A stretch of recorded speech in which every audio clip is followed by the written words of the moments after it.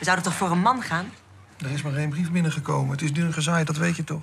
Als ik jullie was, zou ik echt voor een man gaan, hoor. Dat gezeik met die vijven de hele dag. Kun je dat specificeren, Helma? Gewoon, dat gezeik de hele dag. Jongens hebben een rolmodel nodig, een man. Ik denk dat Helma dat bedoelt. Nee? Dames, ik ben er toch? Nee, een man, Anton. Een rolmodel. Iemand die jongens begrijpt. Dat gestoei de hele dag, dat nutteloze vechten. Die voortdurende drang tot competitie. Iemand die daar wel mee om kan gaan, zo iemand. En dat het hier niet elke dag zo'n kippenhok is. Nou, eh, de haan houdt ze wel in bedwang. Nou, als er al een haan is, dan is dat Volkert. Ja.